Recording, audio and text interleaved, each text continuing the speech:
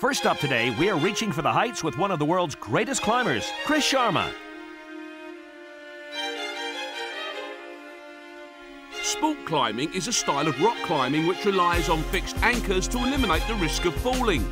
Its emphasis is on gymnastic ability, strength and endurance. One of the sport's leading lights over the last decade has been American Chris Sharma, who is always on the search for the toughest climbs around. I'm looking for these routes coming out of these big overhangs that just your fingertips and your toes are hanging on. Really small hold, sometimes just by one finger you're holding on. And that's always what's really inspired me and motivated me throughout the years. Just to see how difficult I can push myself and yeah, see what's the hardest wall I can climb. It all started 16 years ago in Santa Cruz, California. After trying his hand at a variety of sports, Sharma was to settle on climbing age 12. Climbing for me was just a really natural thing. I tried a lot of different sports when I was younger and basically anything that had a board or a ball or a stick, I was just horrible at it. But with climbing, the rock is just still and you're just moving up the wall. I don't know, it just, for me, it really made sense and uh, just clicked for me. Aged 14, Sharma won the American Bouldering Championships and has since won bouldering competitions the world over, including the X Games and the Mammoth Championships. However, the majority of Sharma's time is spent conquering his own challenges. Competition is one way of measuring your level but the real essence of climbing is really out here on the rock. You have to climb the world's hardest route, for example, and to be the first person to do this route. So the competition is really kind of with yourself and like whether or not you can do it. You're not competing with someone else.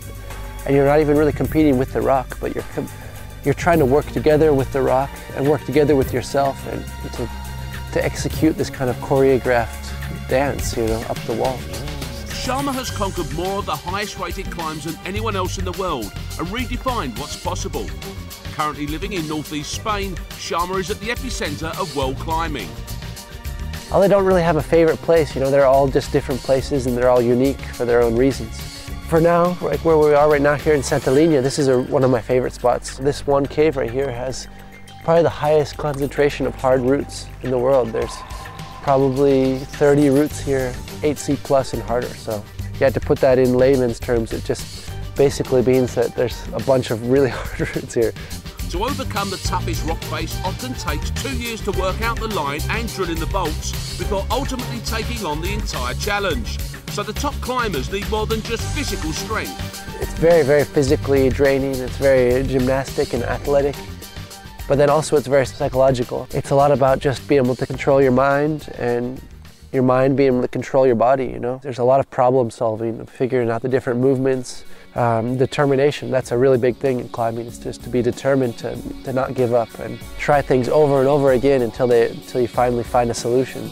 When victory finally comes, you think that all of Sharma's expectations would be fulfilled. You almost blow it up in your mind that like, if I do this route, it'll be, you know, I'll be so satisfied that I'll never have to touch rock again. I'll just be happy for the rest of my life. And then once I do finally get to the top, I'm super happy. I'm really, you know, excited, but at the same time, there's also this empty feeling of like, well, what next? And it's kind of this up and down roller coaster of, of life that we go through. In a sport where many succumb to nagging injuries, it's rare for a climber to be at the top for a decade. But over those years, if anything, the 28-year-old has just got better. Actually, I do feel like I'm still improving as a climber. I'm much more aware of what I want and how to go about getting it and how to climb and use my experience on the rock for uh, so many years. So right now it's a really exciting time for me. I feel more motivated than ever and just psyched to, to see how far I can push it. Despite conquering the highest categorized climbs possible, there's more to come from Sharma as he tries to make the impossible possible. I can actually keep climbing much harder, you know. Every time that I get to the top of a hard climb, I realize that it was within my level. So I guess I just want to keep pushing that, you know, keep pushing that more and more.